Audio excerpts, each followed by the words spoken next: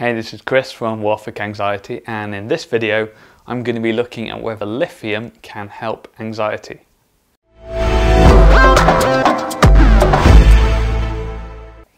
So what is it? Well, it's a naturally occurring metal and you might have run into it in high school experiments where you drop some of it into the water and it rapidly fizzes around.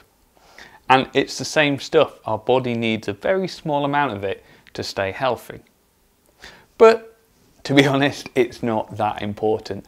Being lithium deficient won't cause any physical health problems, though it may affect your mood and increase your risk of suicide.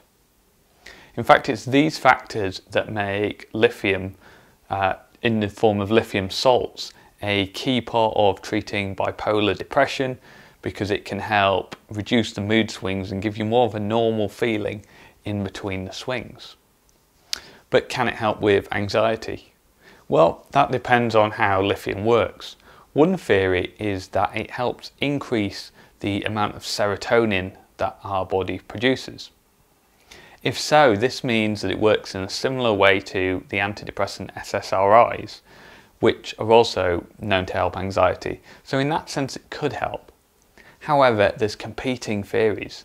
Another theory suggests that lithium helps us regulate our dopamine and our glutamate, which are two other chemicals the body needs to synthesize. If so, that wouldn't really help anxiety, but it would explain why it helps bipolar disorder. So, does lithium help anxiety? Well, we don't really know because we don't know exactly how lithium helps in bipolar disorder. Once we understand that, we will know whether it helps anxiety or not.